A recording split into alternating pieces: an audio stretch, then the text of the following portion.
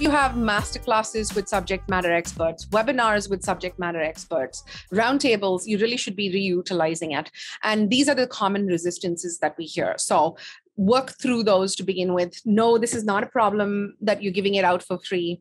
No, it is not a problem that, you know, someone on your list is going to feel like, you know, hey, I've either paid for it or signed up for it and you're giving it away for free if you take care of the timings in which you do that. And then the third part is um, replicating when properly referenced and replicating in a context where social media and a lot of the platforms want you to stay on their platform it's really not an issue. So you're really making sure that you're reaching far more of an audience than the in- initial small set that sees you